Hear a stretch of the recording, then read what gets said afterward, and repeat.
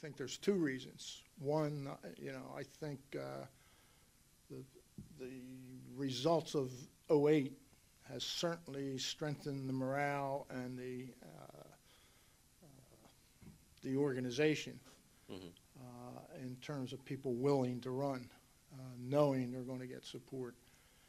Uh, Second, I think it's a little bit of just plain ego. Uh, People s- saw the success of in '08 and '06, and now are anxious to run.